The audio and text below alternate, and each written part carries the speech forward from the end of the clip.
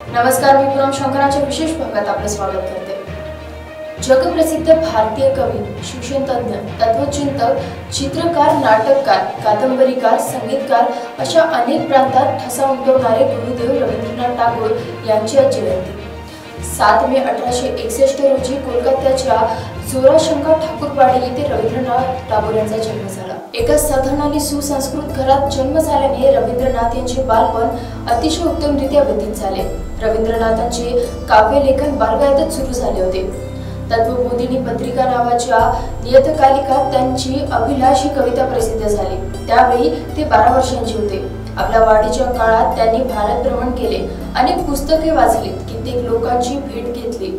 अठराशे सत्याहत्तर सालच्या रचनांमुळे ते पहिल्यांदा प्रकाशझोतात आले पुढे शांतिनिकेतनची स्थापना उत्तम बंगाली साहित्याची निर्मिती संगीताला वाहिलेले जीवन व उतारवयात चित्रकलेची निर्माण झालेली आवड असे समृद्ध जीवन रवींद्रनाथ यांना लाभले. रवींद्रनाथांनी बॅरिस्टर व्हावं अशी त्यांच्या वडिलांची इच्छा होती. त्यासाठी त्यांना अठराशे अठ्याहत्तर साली ब्रिटनला पाठवण्यात आले. त्या ठिकाणी त्यांना पाश्चिमात्य संगीत आणि नृत्य तसेच अन्य कलांचा आविष्कार पाहायला मिळाला. त्यानंतर ते भारतात परतले. रवींद्रनाथ टागोरांनी अनेक साहित्यांची निर्मिती केली.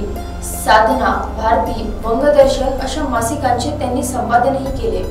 त्यांनी सांधे गीत हा कविता संग्रहही लिहिला. गीतांजलीला मिळालेल्या नोबेल पारितोषिकामुळे ते विश्ववंत कवी ठरले. तसेच पोस्टमास्टर चित्रा नदी चैताली विदय अभिशाप चिरकुमार सभा काबुलीवाला अशा अनेक साहित्यांची निर्मिती केली. जेव्हा आपण विनम्र असतो त्यावेळी आपण महानतेकडे प्रवास करत असतो असं ते म्हणायचे. भारतीय स्वातंत्र्य लढ्यातील प्रमुख घटना असलेल्या एकोणीसशे पाच सालच्या बंगालच्या फाळणीला त्यांनी विरोध केला. एकोणीसशे एकोणवीस सालच्या जालियनवाला बाग हत्याकांडाच्या निषेधार्थ त्यांनी नाईटहूड ही उपाधी परत केली. रवींद्रनाथ टागोरांना त्यांच्या गीतांजली या काव्यसंग्रहासाठी एकोणीसशे तेरा साली साहित्याचा नोबेल पुरस्कार मिळाला. हा भारतातीलच नव्हे तर आशियातील पहिला नोबेल पुरस्कार होता.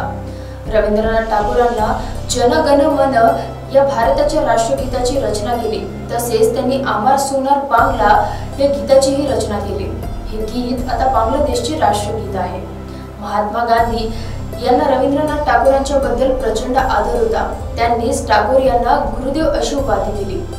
भारताच्या इतिहासात महत्वाची भूमिका बजावणारे रवींद्रनाथ टागोरांनी सात ऑगस्ट एकोणीसशे एक्केचाळीस साली अखेरचा श्वास घेतला.